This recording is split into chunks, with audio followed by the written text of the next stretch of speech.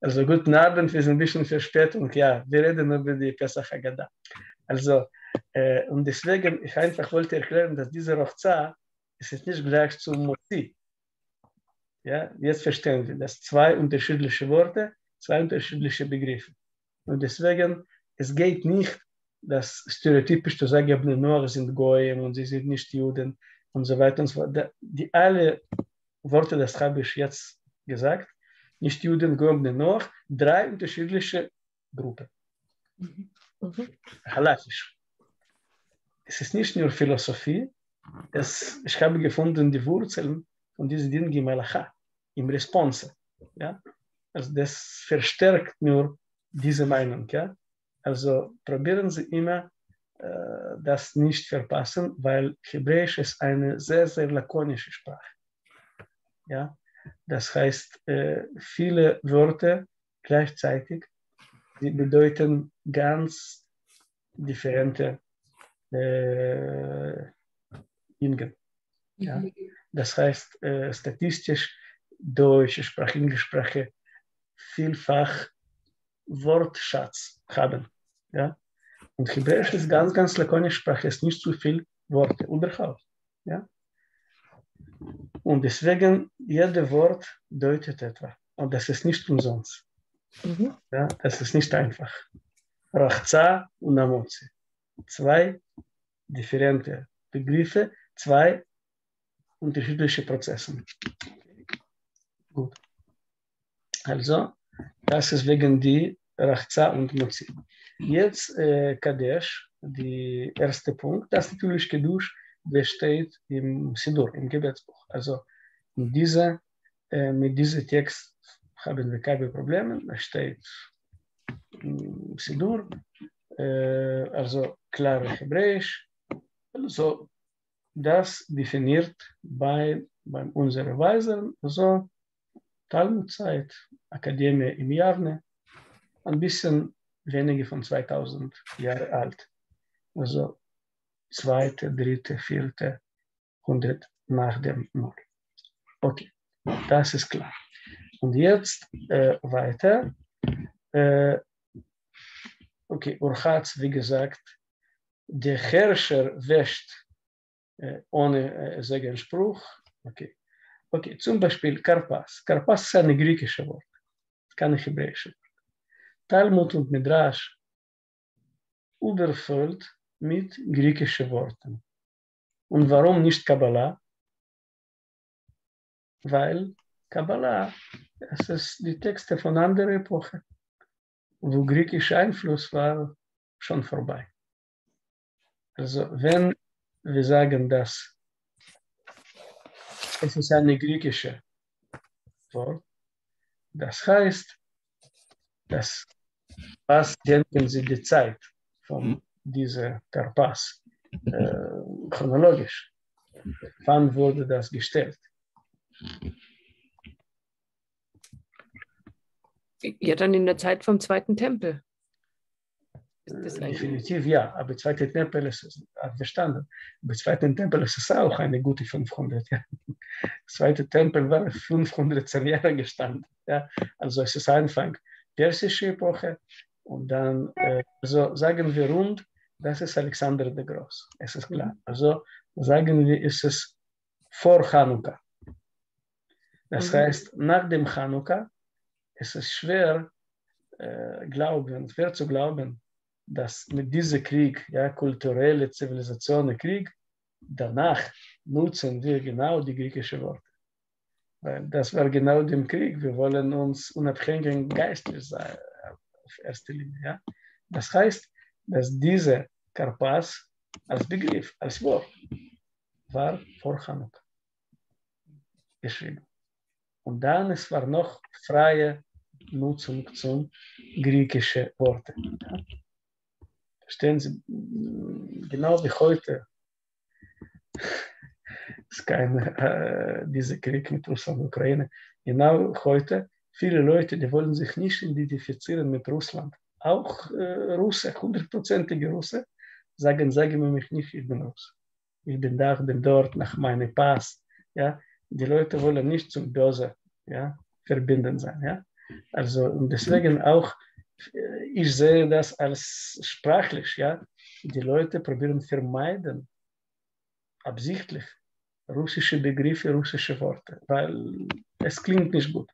Deswegen auch nach Hanukkah, die jüdische Sprache war genau, klingt nicht gut im jüdischen verstehen Sie?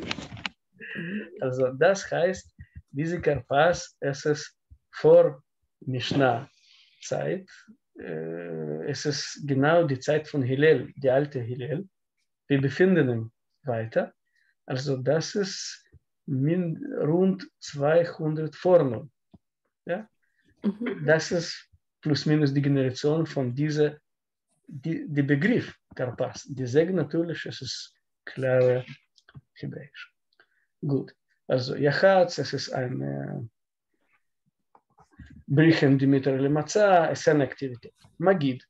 Okay, Magid, okay, ich sage euch schon direkt, dass Magid, dieser Absatz Hal Ahmadania, der ist von Anfang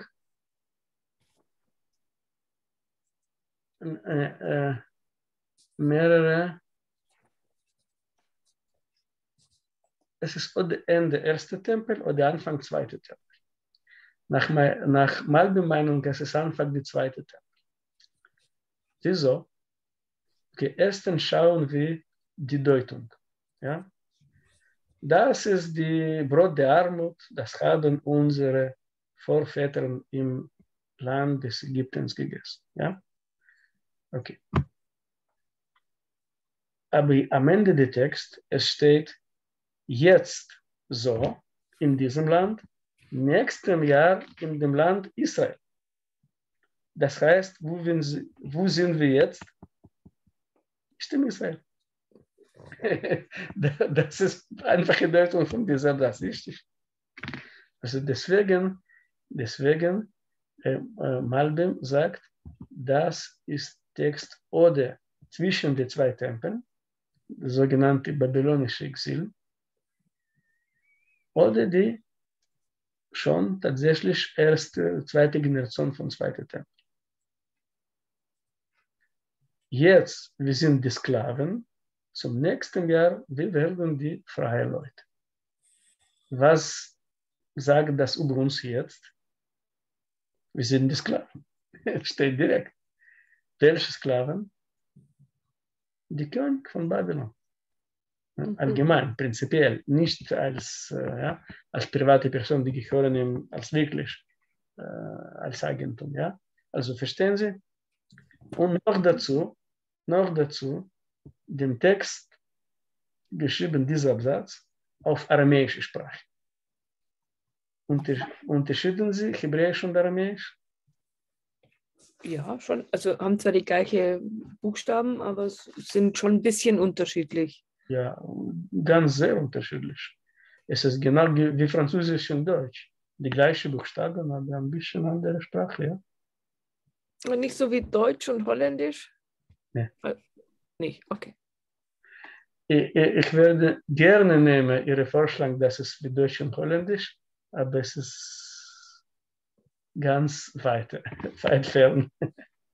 Also muss man verstehen, einzelne, die Juden hatten viele, viele Sprachen. Gibt es mehr von 100 jüdische Sprachen überhaupt, ja. Also mhm. sie kennen Jiddisch, Ladino und so weiter. Äh, Aramäisch ist es eine, eine von diesen 100. Nur nach dem Namen Aramäisch ist es von Aram. Aram ist Syrien. Ja, ich habe mal gesagt, dass Aramäisch, das ist alte englische Sprache. Es ist die erste internationale Sprache. Genau wie Französisch war im 19. Jahrhundert. Mhm. Ja? Das ist die aramäische Sprache. Aramäische Sprache war eine internationale weltgleiche Sprache. Okay?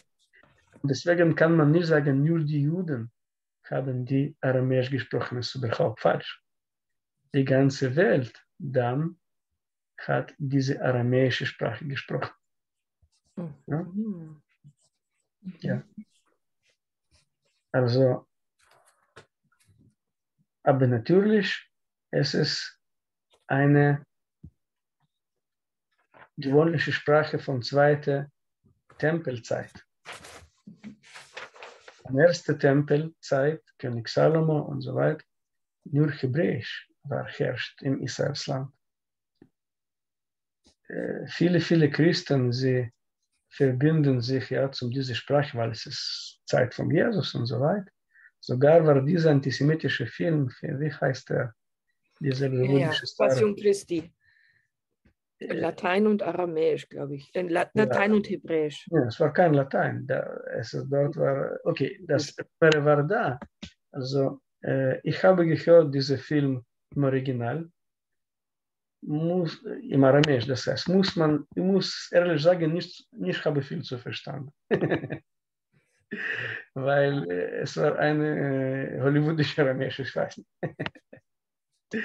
es war irgendwie sehr, sehr kurz aramäische Sprache ist relativ lang, ist nicht genau wie, wie Deutsche lang, aber doch relativ lange Sprache. Also, und irgendwie, das war kurz. Es ist auch, muss man ehrlich sagen, es war viele aramäische Sprachen, also wie Unterschieden zwischen ostaramäische Sprache und westaramäische Sprache. Also, ostaramäische Sprache ist es von Osten, von Babylon, Persien, Irak, heutzutage Iran mit diesem ostaramäischen Talmud geschrieben ist. Mhm. Midrashim. Kabbalah, Zoharbuch und so weiter, äh, Jerusalemischer Talmud, hat auf westaramäische Sprache geschrieben. Mhm. Es ist fast, fast zwei unterschiedliche Sprachen, genau wie Französisch und Englisch, mhm. muss man sagen. Und auch wenn du, ich verstehe relativ gut die ostaramäische Sprache, das heißt talmudische Sprache. Das hilft nicht in kabbalistischer Literatur mit mhm. Westaramäisch. Die Forscher und Historiker, sie sagen, dass im Israelland das war westaramäische Sprache. Also nach dieser Idee, Jesus und seine Generation sollte westaramäische Sprache reden. Es ist noch längere Sprache von ostaramäisch. Also wie konnte, wie heißt dieser Regisseur äh, von diesem Film? Mel Gibson. Ja, genau, genau. Wie könnte er eine lange Sprache zu einer kürzeren Sprache, ganz, ganz lakonische Sprache? Keine Ahnung. Also, ich weiß nicht, ja. Es klingt nicht als originelle westaramäische Sprache. Also, äh, äh, gibt es noch eine Gründe über diese westaramäische Sprache? Es ist schwerere Sprache relativ zum Ostaramäisch und deswegen die jerusalemische Talmud und Zohar und kabbalistische Artur ganz, ganz nicht einfach zu verstehen, auf wörtliche Sinn. Und das ist genau das, nicht Juden die Meinung geht und erste Christen, wir sollten nicht die Kabbalah lesen, ja, direkt. Das, das war die Idee. Also, wenn unsere Weisen wollten etwa äh, bedecken, sozusagen, im Talmud zum Beispiel, babylonische Talmud, das ist immer auf Aramäisch besagt. Und noch mehr, wenn du wolltest etwa äh, noch konspirieren, die ganze Konspiration geht auf Jerusalemische Talmud und so, das ist überhaupt ohne Übersetzung, du kannst nicht schaffen. Ja, also unter einfach aramäische Sprache versteht man heute äh, die babylonische Talmud, also das relativ einfache Hebräisch, äh, einfache Aramäisch, der kann man sagen, das haben sie gesagt, es ist wie Deutsch und Niederländisch. Mhm. Es ist ein Ausdruck, das kann man verstehen, nur Aleph, der Unterschied, es ist nicht nur, es ist nicht nur ganz äh, unterschiedlich, unterschiedliche Grammatik, äh, längere Sprache, die Wurzeln manchmal gleich, manchmal überhaupt unterschiedlich.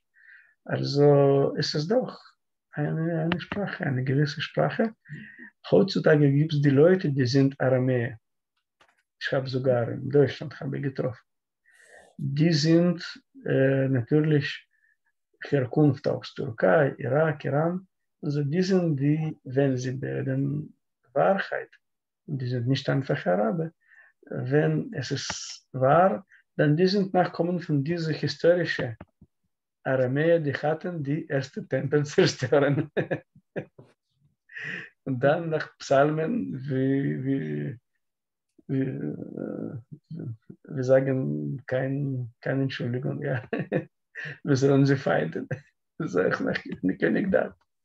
Okay, aber zu unserem Text, also wieder, die Sprache beweist, dass es, äh, es ist noch vor Karpas, das heißt, wir reden über die fünfte, vierte Generation vor Null, ja, und wirklich äh, die Vermutung, dass es das babylonische Exil, dieser Absatz, ja. Die Leute wollen, die Juden wollen zurück nach Israel. Steht direkt, oder? Also das jetzt sehen wir die Zeit von diesem Absatz. Babylonische Exil. Okay. Äh, okay, die vier Fragen, die vier Fragen, das ist die klare Hebräisch. Das heißt, das heißt, es ist mindestens nicht zweite Tempel. Weil wir sagen, zweite Tempel ist das aramäische Sprache.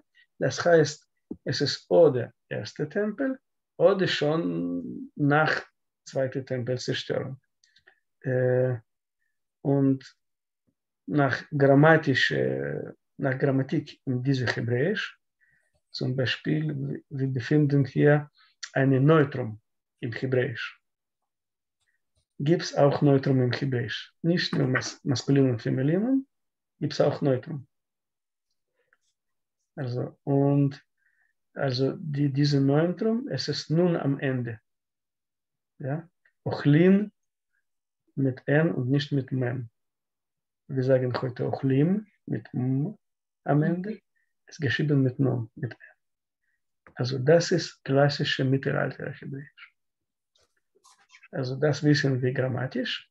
Das heißt, diese vier Fragen, sie gehören zum älteren Anfang der Mittelalter, das heißt äh, Kreuzzüge. Irgendwie. Das ist die passende Hebräisch. Ja? Heute, wir sagen und schreiben so nicht. Das ist ein bisschen veraltetes Hebräisch.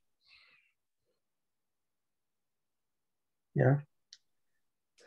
Okay, dann zeige ich etwa nicht in direkte, direkte Ordnung. Äh, äh,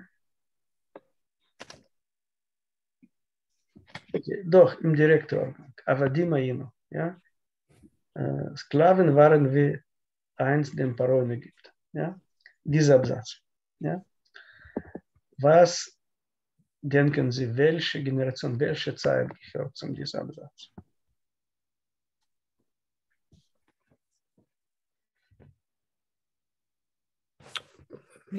Ist der ganze Text? Nein, nein, nur, nur dieser Absatz. Sklaven waren wir für Pharao in Ägypten. Da führt uns der ewige, unser Gott, von dort heraus. Ja? Also erstens, das ist klassische Hebräisch ohne Aramäisch. Das heißt nicht zweite Tempel. Also erste Tempel, die Juden waren im Israelland, keine Sklaven. Also das ist vermutlich nach zweiter Tempelzerstörung. Wir sind die Sklaven jetzt. Ja? Und unsere heutzutage Statut spiegelt uns, reflektiert und wir, wir sagen über die, ja, unsere Vorväter, aber tatsächlich wir reden über die uns. Verstehen Sie? So schreibt man so, richtig? Das ist logisch. Ja, also das ist die Exil in Europa. Ja. Wir sind in Europa und wir hoffen, äh, hoffen uns genau wie die Gott, der ewige unser Gott hat unsere Vorväter aus Ägypten rausgenommen, da nimmt er auch uns von Europa und östlicher Welt zurück. Ja?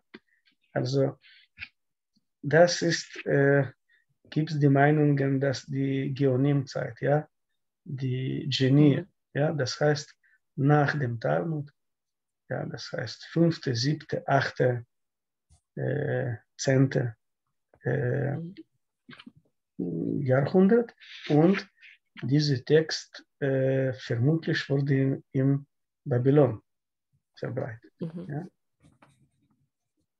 Also wieder äh, unser äh, Vorbild für unsere äh, Gebetsbücher, Sidurim, das ist Sidur Amram Gaon, die Gebetsbuch von Abraham Gaon. Abraham Gaon hat in Babylon gelebt. Ja? Nur zufällig dieses Buch irgendwie Europa erreicht.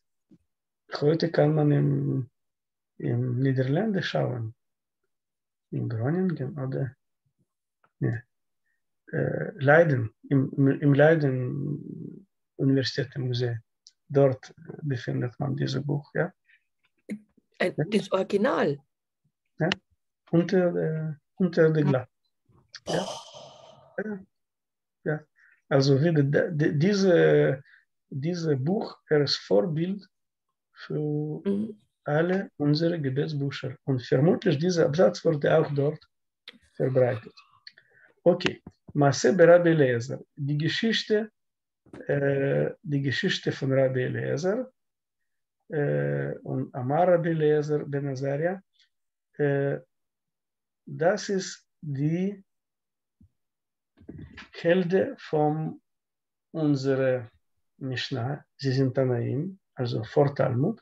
Wir reden Rabbi Akiva, wir wissen genau, er hat überlebt die zweite Temmelzerstörung, er war jung, also äh, Bar Kochba-Rebellion, also zweite hundert Jahre nach. Und die, die gleiche Herren, die gleiche Herren auch, sie erschienen im Talmud, im Brachot, der erste Band. Ich habe jetzt mit meinen Kindern gelernt. Ja. Also das heißt, das heißt, äh, wir können ausschließlich sagen, diese zwei Absätze sind von zweiten Jahrhundert nach weil die, die Texte sind fast identisch. Was haben wir im Talmud über diese Weisen? Also können Sie kurze Ausführung über diese Herren. Äh, Rabbi Elazar, Rabbi Elazar ben Azaria sagte, ich bin quasi 70 Jahre alt. Ke, kmo, quasi. Das heißt, tatsächlich er ist nicht 70 Jahre alt ist. Und Talmud sagt, er war genau 18 Jahre alt ist. also, und wieso er redet, ja, die Leute sind ganz alt. Rabbi Akiva ist mindestens äh, äh was 80, mindestens 100 Jahre alt, ja, in dieser Zeit, ja. Und jemand ganz jung redet vor einer Ältere. Wie kann das sein? Was können Sie vermuten?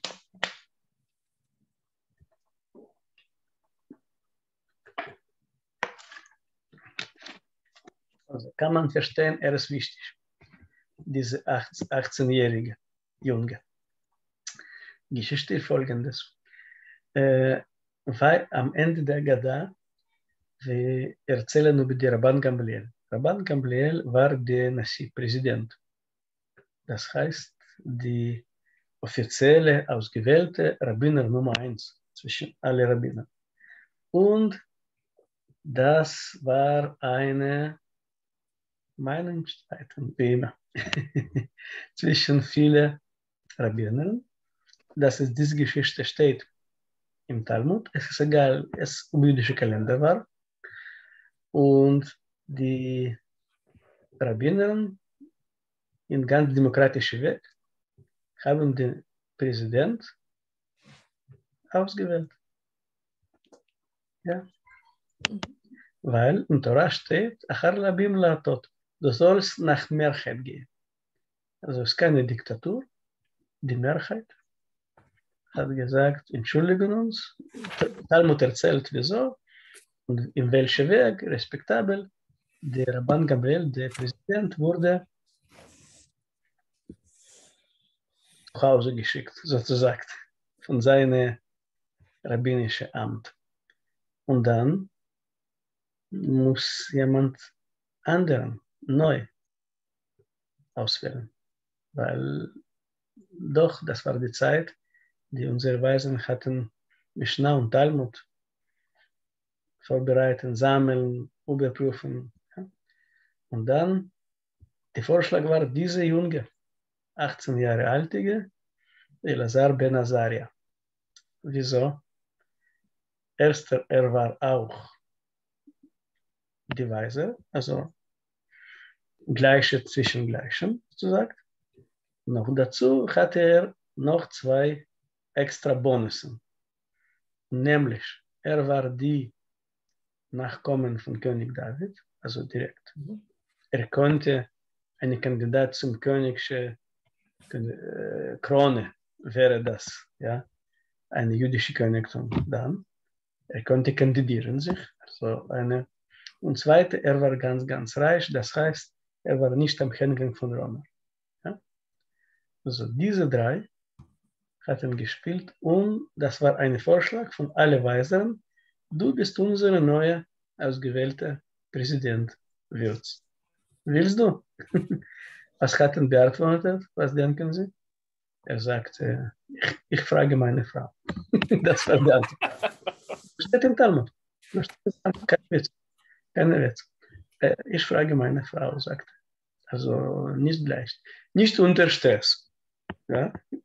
Kein Stress, ich nehme die Zeit, Beratungen, bla bla bla.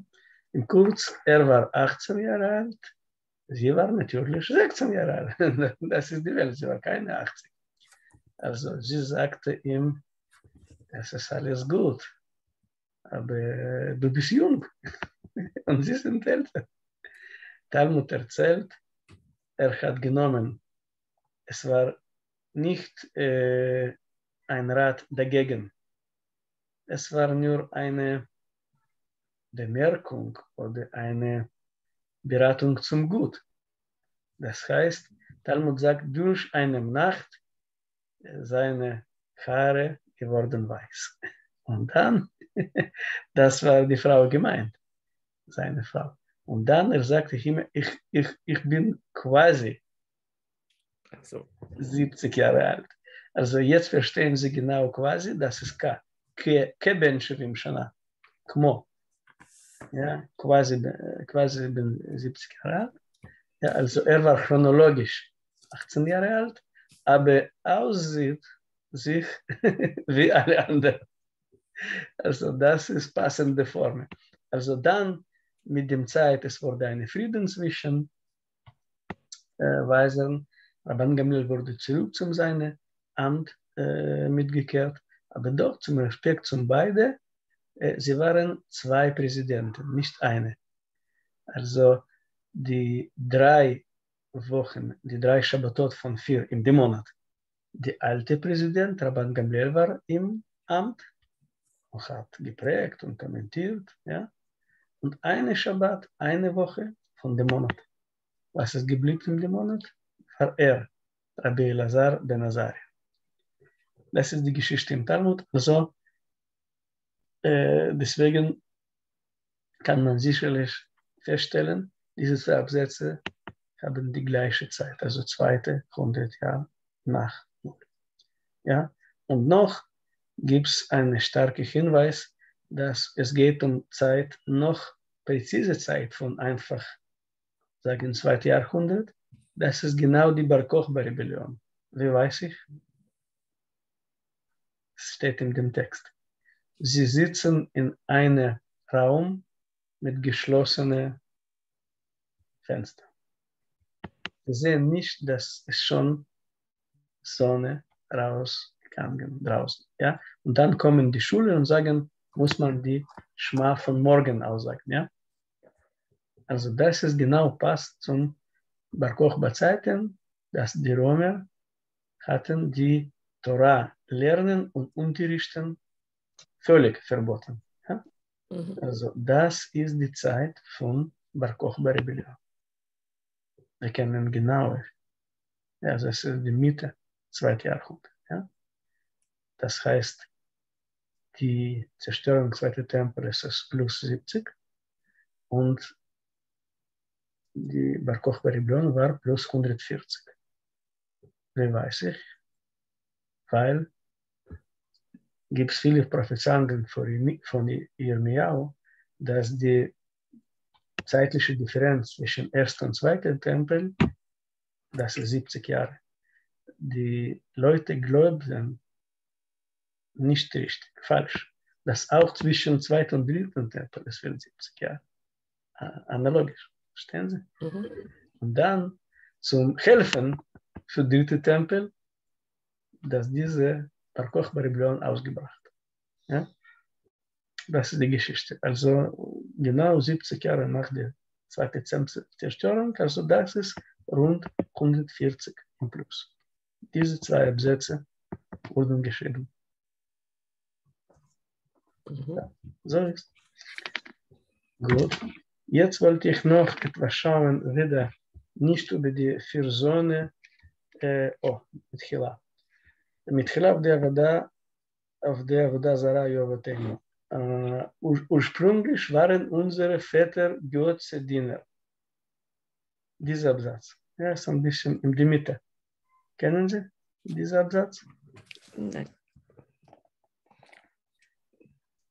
Ursprünglich waren unsere Väter Götzediener, jetzt aber hat uns Gott seinen Dienst nahegebracht, wie es hieß in Joshua 24,2. Joshua sprach zum ganzen Volk, so hat er die Ewige, die Gott Israels gesprochen. Jenseits des Stromes wohnten eure Väter vor Ehe. Terach, der Vater von Abraham und Nachor, und dienten fremden Göttern. Ist bekannt, der Absatz, dem Text? Ja? Der Absatz redet über die Abraham, Terach und Nachor. Das ist nur ein Absatz, gibt es in die ganze Pesach Haggadah. Kennen Sie Solveig? Nee. Es ist in die Mitte. Es ist in die Mitte. Bei mir ist es Seite 30, aber das ist es meine Aufgabe, es ist egal, ja. Also der eine Absatz, es ist nach, nach dem äh, Fürsonne, Echol Merash Chodesh, wegen die äh, Vermutung, dass vielleicht reden wir die Pesach Haggadah vom Anfang dem Nissan-Monat, die Antwort ist nein, und dann nächster Absatz. Nächster Absatz nach, äh, ja, Mhm. Haben Sie gefunden? Ja, ja. Gut. Das ich jetzt gefunden. Also, und das ist, äh, nach diesem Text kann man verstehen, dass dieser Absatz, das war der Agada, Pesach Agada von Abraham. Mhm. Weil in diesem Absatz steht sein Vater und sein äh, Großvater. Verstehen Sie? Mhm. Für uns ist es egal, ja? Aber wenn wir sind lebendige Leute, wir erzählen, wer war unser Vater, wer war unser Opa, ja, und so weiter und so fort. Der Abraham war die gleich. Er hat gekannt seine Vater und Opa und er hat für sich erzählen seine Agada, das ist dieser Absatz. Und es gibt mehrere Hinweise. Kennen Sie den Kommentar, dass der Abraham hat Pesach gefeuert? Nee. Oh, es ist ganz bekannt. Ist ganz bekannt. Ist ganz bekannt. Als, das schreibt Rashi für Torah, als äh, Sarah, ja, als Sarah hat, bekommt einen Nachruf, Palit Abraham, jemand ge, ge, Geflohene hat erzählen, das war eine, äh, eine Probe zum Yitzchak, ja, mhm. mitbracht, ja. Also Rashi schreibt auf dieser Stelle, dass Abraham hat Matzah gebacken. Um Auszug aus Ägypten feiern. Die Frage, wie konnte Abraham zukünftige Ereignisse feiern? Verstehen Sie? Mhm. Ich kann erklären. Ja? Aber äh, die Antwort ist ganz einfach. Die Gott hat ihm gesagt, direkt in Torah, dass deine Söhne gehen nach Ägypten, werden 400 Jahre. Er wusste die Geschichte. Er, hat, er hatte Ahnung ein bisschen von Zukunft. Er wusste über die, äh, äh, diese Geschichte, äh, Auszug aus Ägypten. Ja? Die interessante Dinge, dass äh, wieder die Matzah als Lebensmittel, als besondere Brot war bekannt. Er ist keine unikale jüdische Erfindung. Ja?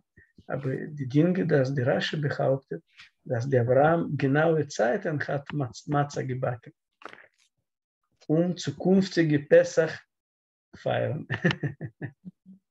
wenn so, wenn so, dann natürlich Abraham nach dieser Linie, nach dieser Tradition, er natürlich hatte seine eigene Agada, aber wieder ohne zweite Tempel, ohne, ja, er hatte, was er hatte, Abraham, ja. Und das ist genau dieser Absatz, der erzählt über Abraham und seinen Vater und seinen Großvater, ja, Terach und Nachor. Also wir, wir sehen uns eine Mischung von unterschiedlichen, nicht die Jahrhunderte, Epochen. Ja? Abraham hat was? 210 Jahre vor Auszug aus Ägypten gelebt. Ja? Ich habe gesagt, dass andere äh, Absätze in dieser Pesach Haggadah sind von 5., 4. Jahrhundert vor Null, 2. Äh, 100 Jahre vor Null, 2. nach Null, ja, und so weiter und so fort. Also, Sie sehen, es ist eine riesige Salat von unterschiedlichen überhaupt historischen Epochen. Jetzt verstehen Sie, warum es keine eine und einzelne Autor gibt für diesen Text. Mhm. Das heißt, Talmud, Talmud als Buch, er was? Er wurde auch nicht 100 Jahre äh, gefasst und geschrieben. Aber doch, es war was, zwei, drei, maximal 400 Jahre. Ja? Aber jetzt, wir reden über die überhaupt tausende Jahre. Es ist, es ist zu schwer, sagen, es ist jemand, der ist der äh, Autor von diesem Text. Wir kennen von Talmud nur äh, Rav Asche, die 6. Jahrhundert nach Null, er war der Redaktor. Ja? Also er einfach die ganze Texte hat gesammelt, geteilt zu verschiedenen Bänden und er hat organisiert den Text quasi lebendige Diskussion zwischen den Leuten, die überhaupt haben nicht jeden anderen gesehen. Wir lebten hunderte Jahre, eine von anderen, ja. Aber als du liest die Talmud, es ist eine Diskussion zwischen Rabbiner, quasi haben gesessen gestern auf eine, äh, einem Tisch, ja. Es ist nicht. Das ist die Redakteur, ja. Das ist die klassische redaktorische Werk. Und deswegen auch diese Agada natürlich hatte gewisse Redaktionen. Wir haben, äh, wir haben ein bisschen unterschiedliche Agada-Texte mit natürlich äh, unterschiedlichen Redakteuren. Das heißt, die äh, spätere Mittelalter Agada von Sarajevo, sie ist bekannt über die, die Malen, Illustrationen. Ja, den Text schon völlig gleich. Ja. Aber wenn wir nehmen ältere äh, Agada-Texte, zum Beispiel von Babylon und Europa, und Marokko, dann schon befindest du unterschiedliche Redakteure. Also heute es ist ein Text, ein Standard, universaler Text, aber jetzt wissen Sie, warum kein Rabbiner steht unter diesem Text, der hat geschrieben oder sogar Redakteur gemacht. Es ist Agada, ein unikaler Text, der hat von Abraham bis Kreuzzüge hat unterschiedliche Eingänge. Also, also eine Zeitreise der, der Haggadah. Ja, es ist, es ist bedeckt, es ist bedeckt äh, über, über 3000 Jahre, ja? von Abraham bis, bis Rasche, es ist 3000 Jahre. Deswegen, es könnte nicht auch theoretisch, dass eine jemand hat geschrieben. Ich habe das geschrieben. Es ist eine super, ultra kollektive Werk, die sage da. Okay? Mhm. Das wollte ich für heute erzählen. Würde kann man jahrelang lernen, diesen Text, jede, jede Buchstabe, das glauben Sie mir, ja? Und dann äh, wir kommen noch und noch von welchem Jahr, von welchem Land, Herkunft, gibt es viele, viele äh, Hinweise. Ja, es ist ganz, ganz interessant aber es ist nur ein Prinzip. Also diese Agada ist eine super Talmud. Ja? Die Talmud war, wie gesagt, 400, 600 Jahre geschrieben. Die Agada von Pesach, 1000 Jahre geschrieben. Ja, ja, das ist in kurz. Gut, also das wollte ich für heute unterrichten. Haben Sie die Fragen? Danke, aber das war jetzt unfassbar spannend. Ja. Die Geschichte, die Historie, wenn du verbindest und diese Historie, ist es unglaublich spannend. Mhm. Wenn du befindest, wir sagen auf Hebräisch, die Füße, die Hände, wenn du kannst schwimmen in die historische Meer, das ist unglaublich. Ja. Und die, und die Kinder lernen das, was die, was die einzelnen Abschnitte bedeuten und wie sie. Das ist unsere Arbeit. Wir müssen unterrichten. Aber ich, ich habe gesagt mehrmals, das erste Absatz, das ist die babylonische Exil. Das sieht man von dem Text. Also ich, ich habe nie, nicht ganze Ideen mhm. euch erzählen. Es ist gute 10, 20, 100 Stunden. Aber doch, da und dort jedes Jahr, ich erzähle etwa von meinen Kindern, ja. Und äh, mhm. ich hoffe, dass sie erinnern. ja.